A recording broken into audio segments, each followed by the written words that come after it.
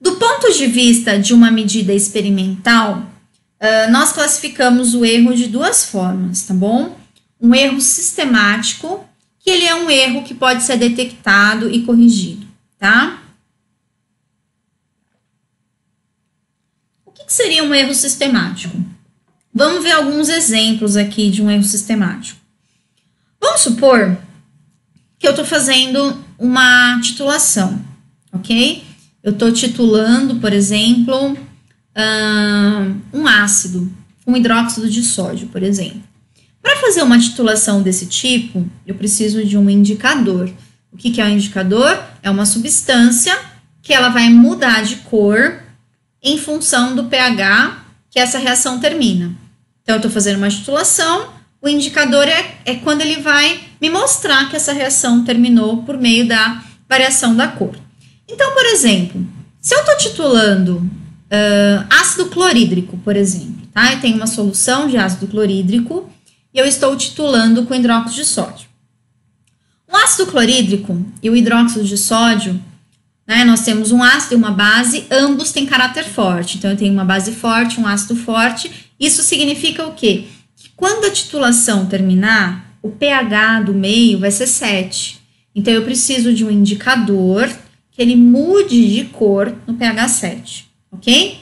Vamos supor que um analista esteja titulando uma amostra de ácido clorídrico e ele inverteu. Ao invés de colocar a fenolftaleína, que vira num pH, né, que muda de cor no pH 7, ele utilizou um vermelho de, de metila, por exemplo, que vira em pH 4 e pouco, tá?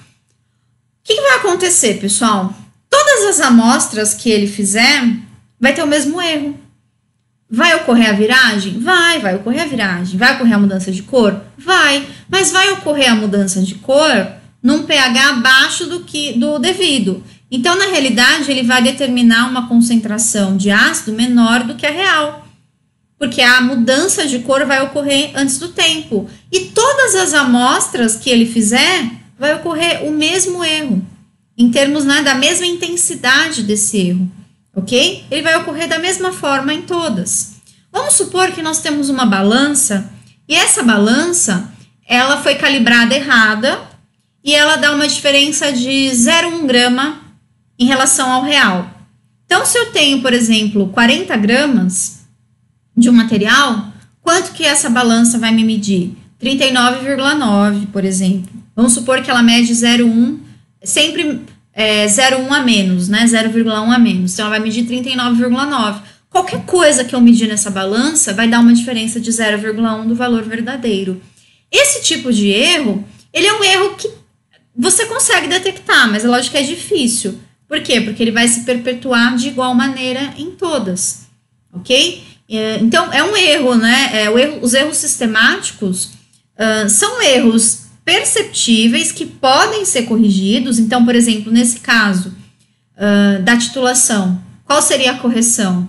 A mudança do indicador. A pessoa usou o indicador errado e, consequentemente, todas as medidas que ele fez todas as titulações que ele fez vão dar resultados errados, mas ele muitas vezes ele não vai conseguir perceber porque os erros vão perpetuar da mesma forma em todos, tá bom? Então acaba, é, apesar dele poder ser corrigido, nem, nem sempre tá, é, ele vai ser é, percebido, tá bom? Uh, um exemplo também de um erro sistemático, tá? Uh, isso aconteceu é, até comigo mesmo, tá? Quando eu, quando eu fazia mestrado, nós fomos uma vez calibrar um equipamento e preparamos soluções, né? Só que os balões no, no que foram utilizados para o preparo dessas soluções, eles tinham uma determinada contaminação, tá? E o que que acontecia? Eles não foram bem lavados, então essa contaminação ela estava presente de igual maneira em todos os balões. E aí, quando a solução, as, essas soluções foram preparadas para fazer a calibração do equipamento, o erro respondeu da mesma forma.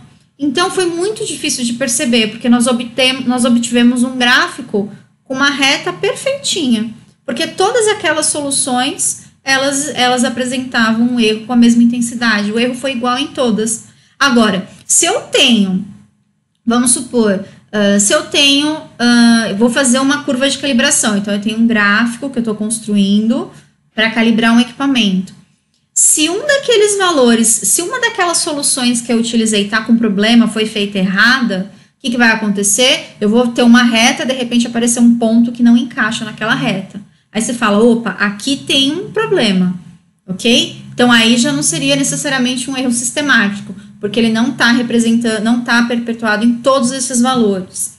Se eu tenho um pegâmetro, por exemplo, e eu calibro errado, uma solução que o pH, por exemplo, era 7, ok? Vamos supor que eu calibrei lá 7,08. Eu calibrei errado o pHmetro. Se eu calibrar errado, todas as medidas que ele fizer, ele vai uh, apresentar o mesmo erro. Então, se eu calibrei o que era para colocar 7, eu coloquei 7,08, todas as medidas que eu colocar, esse 0,8 de diferença vai perpetuar. Tá? Então, isso seria um erro sistemático. Pode ser corrigido? Pode, mas nem sempre ele é tão simples para ser detectado, tá bom?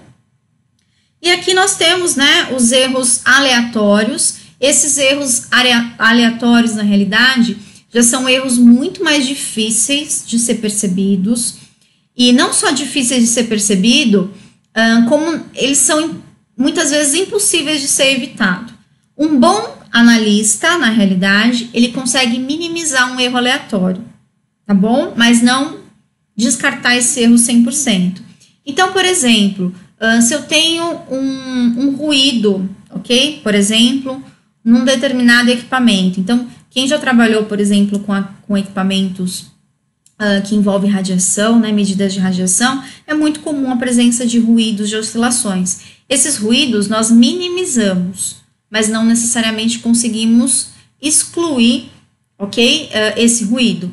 Então, um erro aleatório, na realidade, ele é um erro uh, que, na, que você não pode descartar esse erro totalmente. Ele sempre vai existir. Você pode até uh, diminuir o efeito dele, mas não fazer com que ele deixe de existir, tá bom?